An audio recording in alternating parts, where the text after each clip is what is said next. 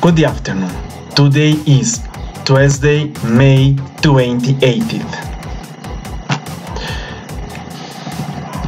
Chernobyl. The wildlife have been created when people left. Rare and endangered animals have thrived in the Chernobyl disaster zone since it was evacuated in 1986 as a new wildlife tour in southern Belarus shows.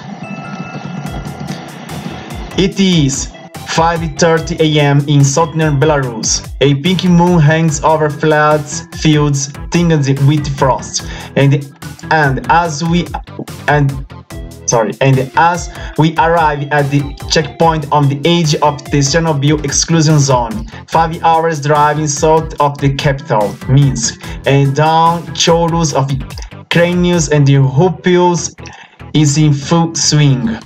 The May scenes and the unlikely place to come wildlife watching, but I am here with the first eco tour of the Palieski State Radi Radio Ecological Reserve as the Belar Belarusian sections of the zone is called. It was April, April 18, uh, 18 sorry 1986 uh, that probably the world's worst nuclear accident happened just over the border in the northern Ukraine. A dramatization of the disaster is currently showing on Sky Atlantic. Chernobyl town was evacuated at the exclusion zone today, covered 2,600 square kilometers in Ukraine and 2,000 uh, 100 uh, square kilometers in Belarus. Ukraine turned its part of the zone into a tourist attraction several years ago. 15,000 people visited the nuclear reactor in the ghost town of Pripyat last year, and, the, and it has even hosted a rave but Belarus didn't open in Palieski Reserve to visitors until last December. The Ukrainian site is now popular from the early ghost town and director ruins, but on this side of the border is all about the wideners and the our tower. Our tour will be a nature, nature watching trip uh, like no others. The reserve claims to be Europe's legacy experiment in rewilding, and the unlikely beneficiaries of nuclear disaster have been the wolves, bison, and bears that now roam the depopulated landscape and the 231 of the country's uh, 333 34 bird species that can also be found here. After uh, an initial hitch with our parking work, few things are bureaucracy free in Belarus. Thought new Rex, Rexed visa requirements mean Brits are now spared a trip to the embassy near near Kensington Gardens. We made our guide uh, Valery Yurko, a spry ornithologist. Our visit is limited to 7 hours and I am mean to see as much as possible. We start in the museum, which has some memorably bad taxidermy, before setting off to try to spot the real things. Elk are the most common mammal here, and it not, does not take us long to see a young male stand with his legs half buried in the patch of swamp. As we continue along a forest track that once was once the man route to be to the Ukrainian capital, Kiev, Yurko says there is a 50-50 uh, chance we will see a wolf. There are around a hundred of these carnivores in the park as the hunting is banned here. The animals are slowly losing their fear of humans. We stop at the Soviet observation tower in the middle of the reserve. The pylon-like structures 30 meters tall would be a personal hell for vertigo sufferers, with it being metal rungs on the tiny, uh, tiny platform uh, of some crazy boards. The climb test my usually reliable head for highest. but it's worth the effort. From the top, we can see the honking metal sarcophagus covering the blown reactor at Chernobyl and get a panoramic view of the villages of the exclusion zone, which are now at but slowly by vegetation. The previous uh, that I visited one of the reserves abandoned settlements, Droniki, when the village's uh, 232 inhabitants were evacuated. They didn't have long to back, uh, pack, and the floors of the wounded houses are still scattered with shoes, cigarette boxes, and children's jotters that April 1986 is a poignant sight. Natural may not nature may be benefiting, but they came at great cost for the people evacuated from the zone. Nearly 350,000 in total, and the million who have followed sick or are considered to be contaminated by the accident. The greatest uh, writer on Chernobyl, investigative journalist and Nobel Prize winner Svetlana Alex Alexievich wrote in the 1997 book Chernobyl Prayer, Prayer that she was recording the future among Droniki's crumbling wall, walls and the siding roofs, collapsed fences, and the bronze filled with a modern harvest. And the wind, uh, Winter Reserve, we see a flash forward to worlds without people. We see the familiar creatures of town and the fa farmland dwindling and animals long since pushed to to the wild ages of Europe take their place. The sparrows, rooks, and the white storks are giving way to white-tailed eagles, lynx, and wolves. And the radiation uh, York tells me the level I am exposed to during the visits is uh, less than I'd get on the transatlantic flight. But what about the animal that uh, live and feed here? It's uh, it is a constant issue among scientists. Some research has found troubling signs of the fallout related disease disease and mutation, but another study recorded large population of mammals in the zone. We don't yet uh, have the full picture according to Victor Fenchuk, project manager of the Wilderness Conservation Programs in Belarus and one of the country's most senior conservationists. The reserve could be an ecological trap where animals move in and then develop health problems he tells me. But the evidence so far is that on the population level, the effect of radiation is not visible.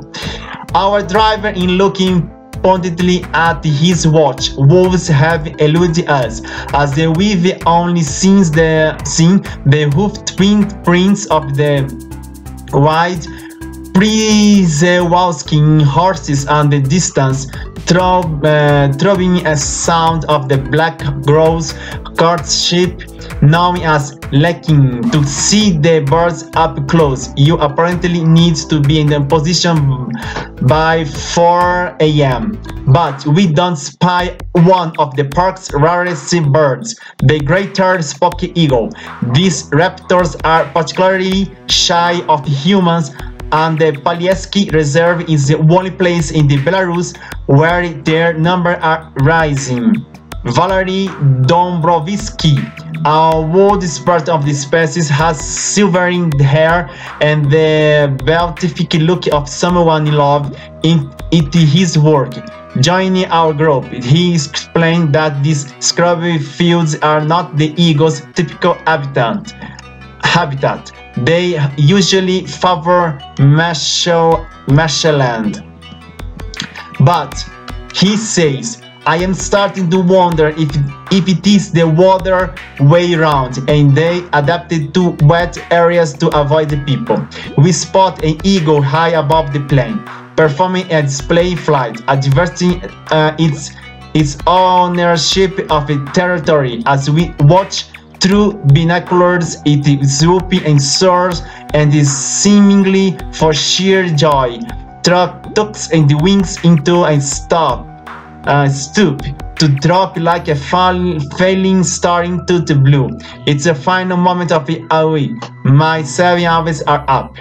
The trip was provided by the AP, APB BirdLife Belarus, which runs eco tours at over the country. A two-day tour to the Chernobyl Accidental Wildlife Sanctuary, including two seven hours visits, guide, meals, transfer from Minsk and accommodation in Khoiniki town. Cost for uh, 470 pounds, based on the group of four. This is very interesting. Okay, after the, the Chernobyl disaster, the wildlife is now uh, is right now in this uh, evacuate zone or the nuclear zone in Chernobyl. It's a good uh, news, but I know is the problems after uh, with the uh, radiation contamin uh, contamination uh, is a is a great is a, the highest level in this in their uh, their zone uh, but the nature uh, find, is finding now recovering in that zone now it's interesting no Thank you very much to watching my new video. See if you want to learn English or talk with me in English, come here at Class for Idiomas or, or we can to do class by Skype in the world, uh, any world, uh, any place in the world. Thank you very much for my uh, every everybody. Uh, thank you very much for my friends in different countries in the world. I see you uh, soon get other in, uh, interesting news. Thank you very much. See you soon. Bye. Wildlife can flourish in the most extreme places, including within the exclusion zone of the worst nuclear disaster the world has ever seen Chernobyl. In 1986, a reactor exploded in the Ukrainian nuclear facility. A deadly fire raged for days, claiming the lives of 31 men who were first on the scene. Since then, potentially many thousands more lives have been lost from the effects of radiation.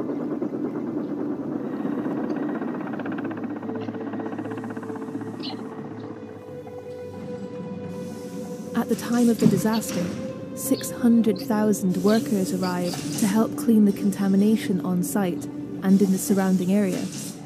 And I should imagine that within a radius of about 30 or 40 miles, people would have to be evacuated for quite a long time.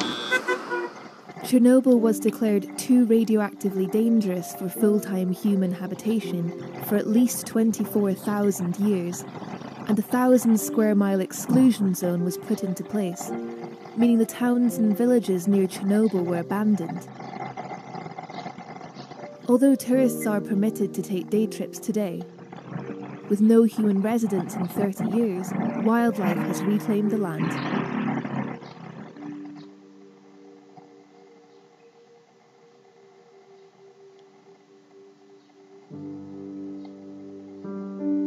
It's thought the lack of human interference counteracts any negative effects of radiation on the wild population. Wolves, foxes, and bears are all commonplace. And dogs roam the abandoned streets, thought to be descended from pets that were left behind 30 years ago. In the 1990s, the endangered Przewalski's horse was introduced to the area as part of a conservation programme.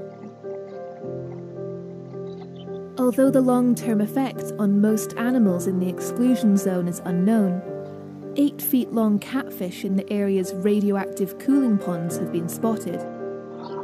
Although it's not yet known if they've grown so big because of changes to their DNA or simply because of a lack of fishing.